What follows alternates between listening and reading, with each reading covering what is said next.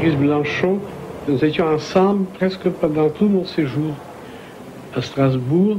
Peut-être est-il venu deux ou trois ans après moi, pas? Je ne peux pas vous le décrire.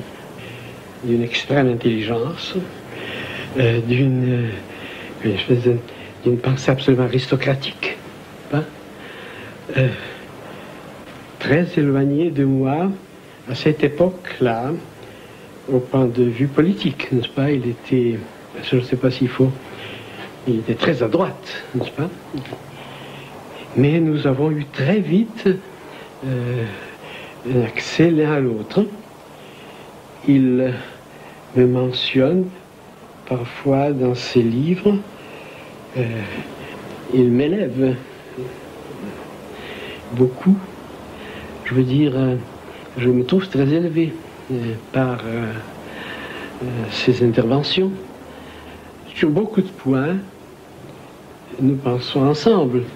Il a, a eu aussi une évolution euh, tout intérieure, tout intérieure. Il n'y a jamais eu la moindre concession euh, opportuniste. C'est cette impression de, un homme sans opportunisme. Voilà euh, le contact moral avec lui.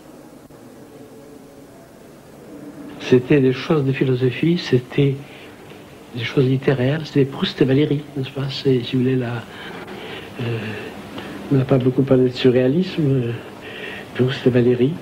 Euh, c'est l'intérêt, c'est très tôt qu'il a eu pour ces choses phénoménologiques dont je me suis occupé. Conversation très abstraite, dans ce sens-là, avec ces, toujours ces ces échappées inattendues que euh, les choses prenaient chez lui. Je n'ai pas de souvenir, euh, comment dirais-je, de rigolade, euh, si je peux dire, pas de...